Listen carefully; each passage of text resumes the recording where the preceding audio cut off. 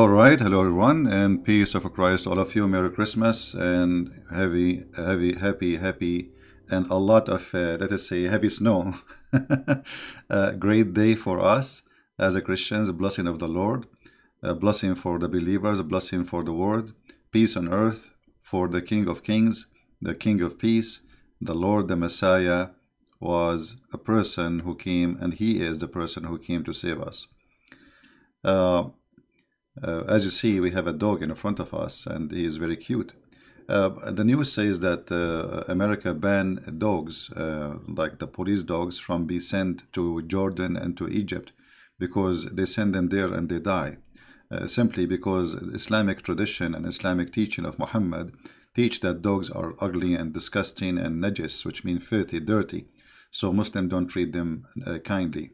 And the Muslim, they say to us that the Prophet said that the woman, she gave a little water for a dog. And uh, because of that, she, he, he was thirsty. And because of that, he, she will go to heaven. But, okay, she gave water to the dog, but yet he ordered to kill the dogs. I mean, eh. you see that, I mean, the, the propaganda, they will not tell you that the Prophet, he ordered to kill the dogs. Uh, however, you know, um, as long as I mention it, I think I better show the, the reference for this. Otherwise, they will say uh, he's lying. It's not true. You know them. I mean, even if you show the reference, they will say he's lying. So, uh, what if you don't show the reference? Imagine, just imagine. Uh, today, our topic is about mis Islam misunderstood. So, this is not really uh, the topic, but because we put the picture of a dog. Let us see.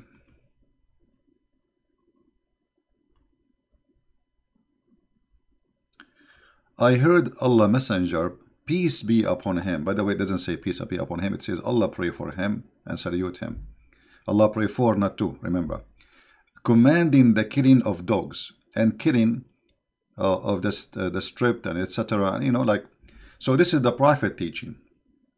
Then when the Arab, they start complaining, I mean, dogs are very, they, we need them. I mean, those people are living in the desert. They need a guardian for their animals.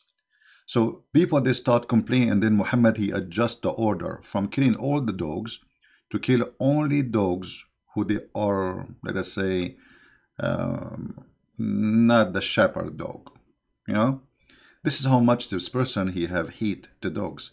And I understand this, by the way, because you see, I can be a person who's afraid from dogs, but I don't hate them. You know, me, me, me myself, I'm not really. I mean, you, you might find a dog who is uh, Uh, aggressive or etc. But dogs, generally speaking, they are very nice. You know, they are the best friend for mankind. But dogs, they have a special sensation. They can sense evil. You know, they can sense evil. So this guy, Muhammad, he could not find one dog is a friendly to him. And this is why he ordered to kill the dogs, because wherever he go, dogs go crazy. Now, we go back to our topic. This is an article, it says, Why is Islam misunderstood? And Muslim Youth Foundation. Okay, building bridges with the community. That's wonderful. I like building bridges. And as long you Muslims, you use the word bridges, so let us talk about bridges. You see, the first misconception is that Christians and Muslims, they believe in the same God. That's absolutely false. And this is many churches, sadly, they teach, many idiots in our churches, they teach that we Christians and Muslims, we follow the God of Abraham. That's a big fat lie. And it's very easy to debunk. You know, Muhammad, he used the name of Abraham, the name of Moses, the, no, the name of Jesus, the name of Mary, the name of Joseph, the name of all those names. He used them as a bridge. As a bridge so he can be accepted. Otherwise, he don't believe in any of them. How we can prove that? Very easy. You see, if we have the same God, we should have the same heaven. The Bible say clearly that the heaven of our God, there's no sex, there's no men and women having sex, and there's no 70 version for every uh, uh, one who kills somebody as a reward, at least. So, if we have the same God, we should have the same heaven. Heaven of Islam have slaves. To the point Muhammad, he said that each Muslim will have 80,000 little boys. The Quran promised us that we will have boys who they will be servant for eternity or slaves for eternity. How that can be our God? Do we believe that our God is a filthy God? For, forgive me, Lord, for saying that word. No, we don't. Do we believe that we have a God who promised us women who we never met, women who never saw us, women who do not even know their names? They are waiting for us in beds and they are jailed. You know what I mean, my friends? 80,000 little boys waiting for you, and those boys are so white like pearls.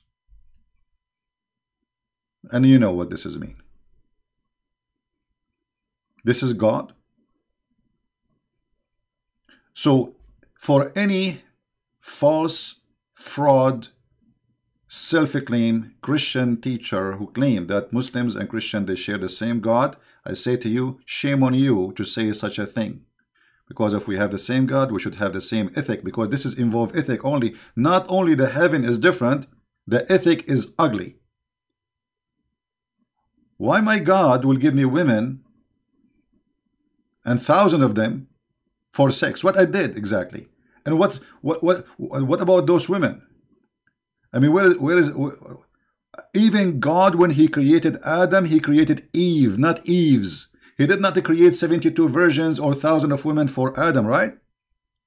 So how come we will go to heaven and there's women we never met and Allah he created them and they are so white because Muhammad he is speaking to the racist Arab. The racist Arab who admire only the white color. To the point he promised them that you will see the marrow of their bones. This is how white they are. Which is disgusting, by the way. I mean, to see a woman bones, and supposedly Muhammad, he claimed that this is really a very attraction or attractive. So, shame on you to be a Christian teacher in a church and you teach Christians that we and Muslims believe in the same God. Islam teach if you kill a person, he is a Christian, you go to heaven. So how you say that we and the Muslim, we share the same God? If we go in the Quran right now as we speak, you will see the Quran saying clearly, fight and kill the Christians and the Jews until they pay the jizya. So how you claim to be Christian and you say, you know what, we believe in the same God. The same God, he hate the Christians and he want to kill them? Hmm? This is all misconception. I agree. Misconception is is is is spreaded by the Muhammadan and by Christians, sadly, who claim to be Christians. And we need to clear it for the Christians because your children they've been lied to in the churches, your children they've been lied to in the school, in the books of history, wherever you go. Fight against those who believe not in Allah nor the last day, nor forbid what is forbidden by Allah. From who? From the Christians and the Jews. Do you see it?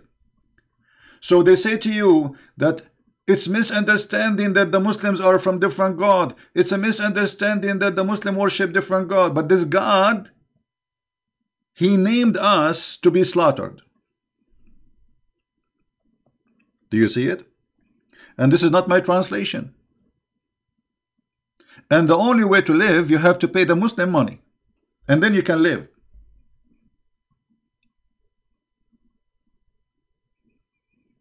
So do you see the misconception?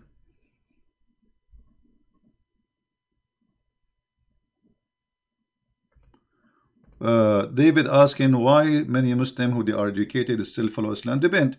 You see, there's there's people who they are following because they have no choice. You know, you live in a society and the price is very high if you leave and there is a lot of people leave just give them freedom like you see in the in the Kurdistan in the in the Kurdish area in Syria and Iraq uh, Kurdish are left Islam long time ago. Just give them a freedom. The American came Islam is gone. Freedom. And those who they are in the West uh, like you might see some of them they they like act they are more conservative right? Because they feel like they are minority try to protect themselves. But if you think about it they are out of Islam already. Because the second you pay tax the second you pay tax the second you obey Allah which is not Islamic law you are not a Muslim the Quran says it clearly in chapter 5 verse number 51 take not Christians and Jews as a friends and if you take them as a friends or a protectors, not a friends only. And if you do, you became one of them. And this is the Quran. We will put it in the front of you in the screen. So if you pay tax and you live in a Muslim in a, in a, in a country which is not a Christian, uh, not a Muslim country, regardless whether it is a Christian or a Hindu, whatever it is, if you pay tax, you are not a Muslim no more. If you take the police of this country, which is not a Muslim police, your police, you are not a Muslim no more. O who you believe, take not the Jews and the Christians as awliya, awliya between two bracket, friends, protectors, helpers, etc. And they are but awliya to each other. So Muslims are not to take us. Uh, look how this is the book of hate. And the, and the stupid liars they say to us in churches, sadly, they claim to be priests, that Muslims they worship the same God. Okay, if we worship the same God, why their God forbid them to take us as a friend? Are you guys listening? I have no problem. I love the Muslims. I want to help them. I, I will be happy to help somebody as a Muslim. I have no problem to take all the Muslims as my friends. But their religion forbid the Muslims from taking us as a friends, as a protectors. So how those idiots in our churches, they teach you that we Christians and Muslim worship the same God. And here an example, today is December 25th, the, the, the, uh, the Christmas day. It is banned in many Islamic countries. How you say that you, you know, you believe in Jesus as a prophet, but you forbid celebrating his birth? What does have to do even, let us say you don't agree with the Christianity. If Jesus is a prophet for you, and this is his birth, okay, where is the celebrating of the birth of Jesus? A Muslim, he said that this is not the correct date. Okay, uh, uh, what about you celebrate you as a Muslim the correct date? which date is it, it is and give it to us and you why you don't celebrate it because this religion is a fake cult they use the names just as a bridge so they can step over you and like you know if you if you are trying to defend yourself against this cult like okay this cult is not believing in jesus etc so i'm not going to think about it so they use those names so they can go through into your home but as you see if this cult is really believe in this in the in the in the in the in, in the same God as we do, how in the world does God he says take not christian and Jews as your friends? How does God in chapter 9 verse 29 says kill them wherever you find them, humiliate them? So misconception is all over. I agree with the Muslims. If we go back to the article, which I find it hilarious, why Islam is misunderstood. Muslims are violent terrorists and or extremists. I agree with you. This is not true. Muslims are not violent. Islam is violent. Your prophet is violent because not every Muslim he practices Islam. The second you start practicing the true Islam, you join ISIS. So yes, it's a misconception to say Muslims are violent. Islam is violent. Muhammad is violent. Allah is violent.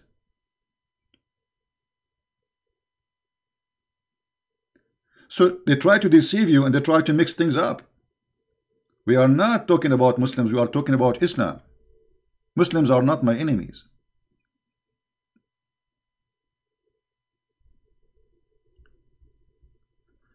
Misconception number two. Islam oppress women. For sure, Islam did not oppress women.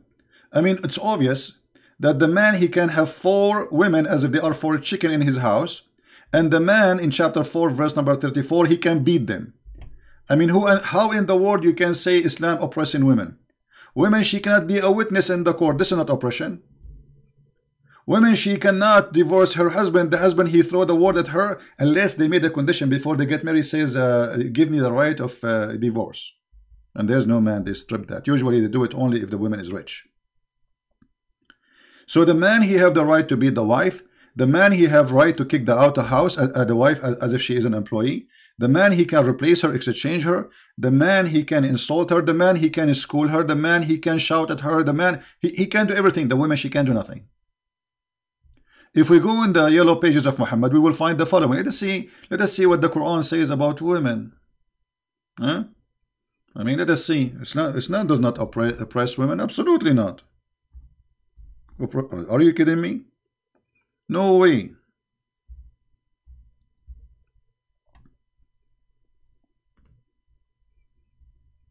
And here, look, the translator, he added things to that text. He said first, second, what first was second.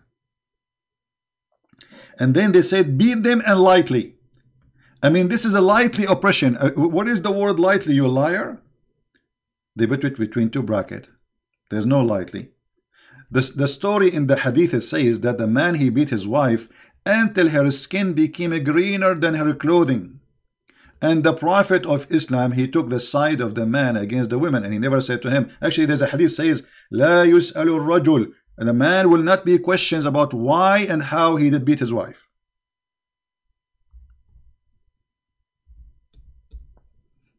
You believe it? A man will not be asked as why he beat his wife. Nobody should ask him, which means you cannot call the police. If you are a woman who live in the Middle East and your husband is, is beating you right now, if you call the police, the police, they will say, sorry, he's your husband. Hello? You cannot even ask the man why you did beat her. I mean, obviously, he owned her. She is a property. And you know what? If you beat a dog in USA, you go to jail.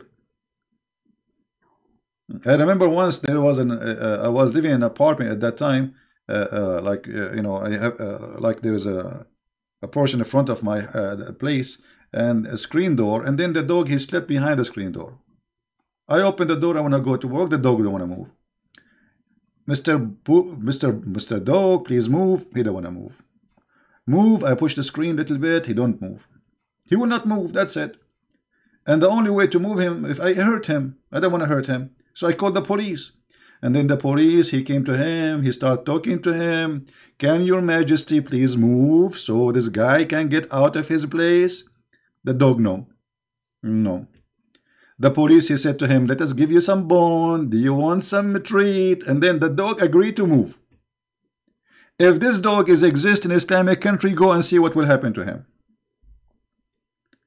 So in USA, if you beat a dog, you go to jail. In, in, in, in Islam, women is not oppressed. Women, you can beat them and nobody will question the man why he did beat his wife. And yet there is a misunderstanding about Islam and women. The man have four wives. This is alone is oppression. Because if you treat women and give her rights, what about you say to the women you can have four husbands too? What if the women you know, like they say to you, the man is, uh, excuse my language, they are like more active sexually. Well, there's women, they are very active sexually too. She can take 10, 10, 10 husbands. Hmm? And she can beat them all. And they say to you, if a woman you fear their rebellion, what you fear rebellion? I mean, the woman, she did nothing, yet you beat her. If you fear their rebellion, and if they obey you, don't beat them.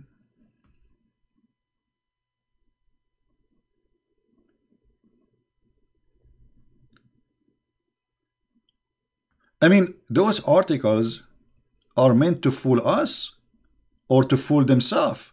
I mean, are you serious? The one who made the article? Muslim worship different God. For sure, we don't worship the same God. I mean, different God. Yeah, because uh, Jesus, he said to us, go and kiss the black stone. And the black stone is going to witness for Allah and will have tongue and, and eyes. For sure we, don't, we have the same God because Jesus he said to us I will give you little boys so they can serve you and they will not bleed.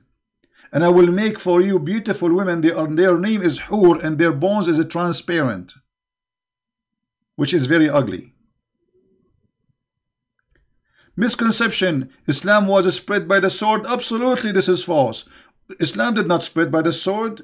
No Absolutely not. Let us see uh, how, you know, what, what, what the Prophet said, peace be upon him. He said, I've been ordered to kill all mankind. The Muslim, they say, it doesn't say kill, it says fight. Well, fight to kill you. You, you, you, you, you're funny? The word uqatil in Arabic is coming from the word qatala, which means kill. I've been ordered to kill all mankind until they testify there is no God but Allah and their prophet and, and there is no prophet but Muhammad. And then and then and only then if they do salat which means after they convert they have to do the salat they have to pray as he pray. And they have to pay him the money. Which means if you don't pay the money still they will kill you. You know? And then and only then their property and their blood is protected. Do you see the gang there is misconception that Islam is spread by the sword yeah, well, not everywhere Islam is spread by the sword, absolutely. As an example, Islam can be spread in many ways. Deception, like you do in the West, because you cannot use the sword there. Your sword is, is, a, is a plastic in the West. If you try to use it, you will eat shish kebab. They will make you hummus. But this is the truth, and this is the word of your prophet. And he sent the three letters to three kings saying, Convert to Islam or you are dead. You see, today is a Christmas, and I'm not going to keep you away from your family, but I wanted to share with you. And if you have somebody he claimed to be a priest, a bishop, sadly, our church is full of false teachers. Either they are false because they are idiot, ignorant, or they are false because they are really false, which means they are evil. So when a priest or a bishop or a Christian, he claim Christian leader or pastor, whatever you call them, they give they love titles by the way. Those people they love title. I'm a priest, I'm a bishop, you know, like you know. I am no one. Jesus the Messiah himself, he did not give himself a, a, a name like that. He washed the feet of his disciple. So say to those liars who they are fooling your children in the churches that the God of Muhammad have nothing to do with our God. And they say to you they are from Ishmael. I challenge anyone who claim to be Christian to show me how Muhammad is from Ishmael. I mean, who is the stupid here? You go to the church, you say to you, those are the Ishmaelists. Those are the Ishmael. They are not. The Arab, uh, first of all, they are not even an ethnic. You see, I am an Arab, and we are not an ethnic group. We are from many ethnic. Arab have nothing to do with ethnic Arab whoever live in the desert they call him Arab the word Arab is an Aramaic word Arabia mean desert so if the Aramaic now they are living in USA they will call those who live in Las Vegas Arab in other words the Aramaic they called us Arab which is the word of the wild man who live in the desert which mean like savage because you know my grand grand grand grand grandfather they used to take a shower once every 10 years. Me, myself, I take it uh, once a year. I'm, we are getting better. So, uh, this is what the word Arab mean. Arab, even the Quran, if you go to the Quran, you know, if you go to the Quran, you will see the Quran say clearly that the Arab are the desert people.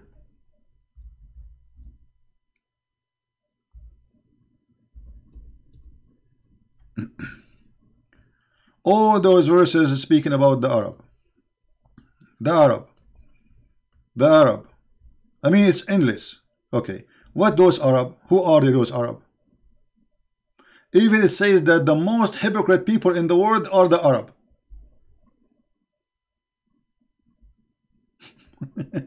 Do you see the translation for the Arab? The Bedouin, people of the desert. Do you see it? Do you see it? And they are the worst in belief and they are the most hypocrites. Who is saying that? The Quran.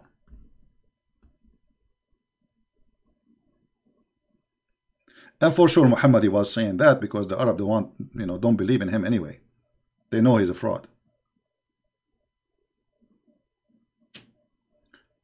So my friends, don't let the fool fool you. I mean, if a fool can fool you, how fool are you? You know what I mean? Excuse my language, I don't want to be rude. But if a fool, he can fool you. So how fool are you? Are we listening? Because in order to be fooled by a fool, you must be an extra fool.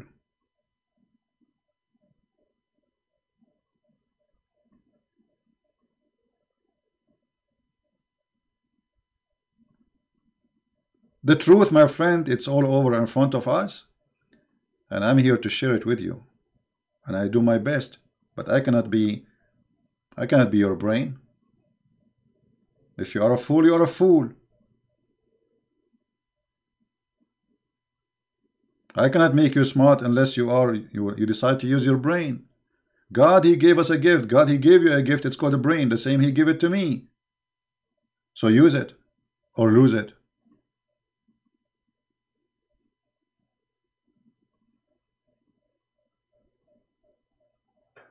And you know, the Islam, there is many proof Islam, by the way, to be from God. I mean, I can I can show you many proofs.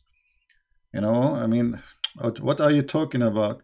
I can show you tons of proofs that Islam is from God. You see the snow still coming in the screen, huh? You like the snow? How we can prove that a very in a very short way? I don't want to keep you here long. It's a Christmas day. Uh, how we can prove that Islam in in two seconds?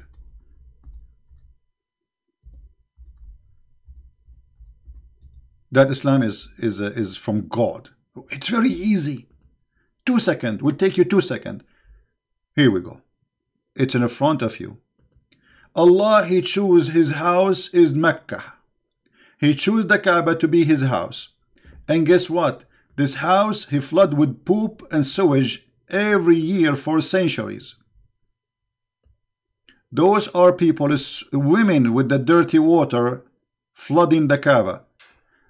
Remember in the Quran says that when God he got angry, he sent the flood of Noah, right?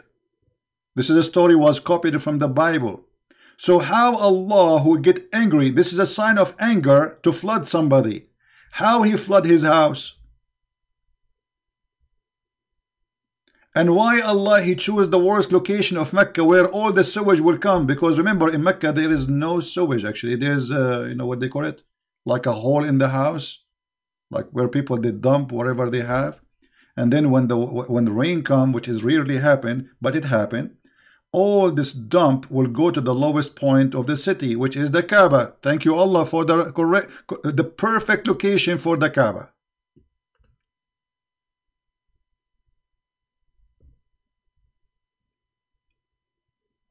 So this is the house of Allah. Allah chose the perfect location for it and it's flooded by sewage. Islam is over. I do not need to prove more. If this is from God, God will never, you know, even if this location is bad, Allah, He can just an order, make an order, He will make the, the, the ground go up. Can't He? Instead of asking the American engineers how to fix this problem, how we can drift the, the, the, the, the, the, the flood away from the Kaaba, spending hundreds of millions of dollars to fix this issue. Right?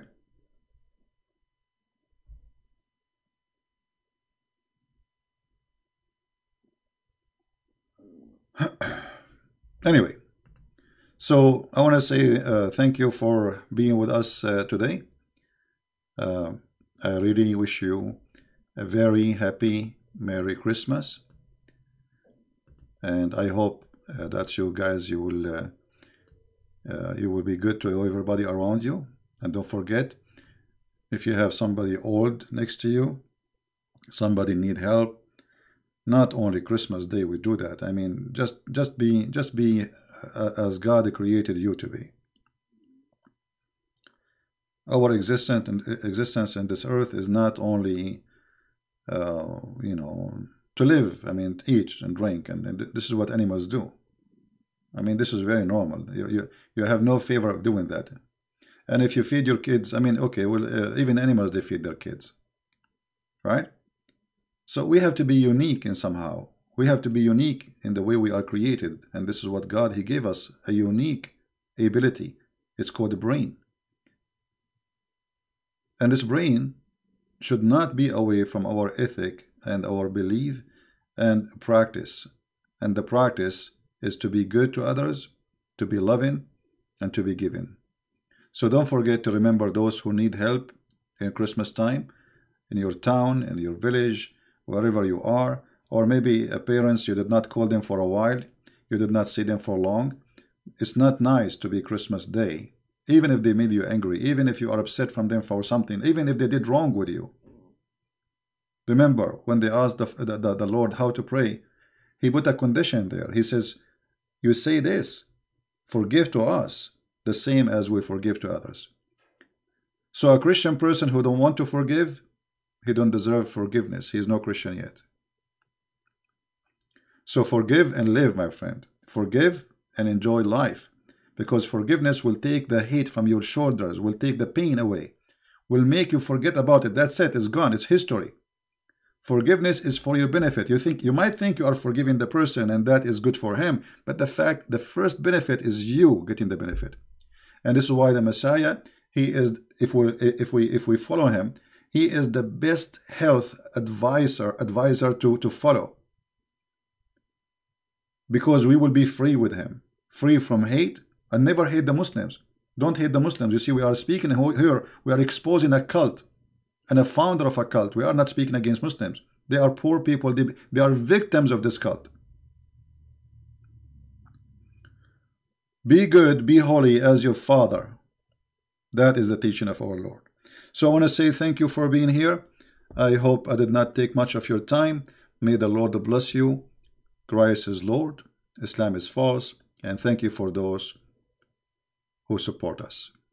God bless. Take care. Merry Christmas.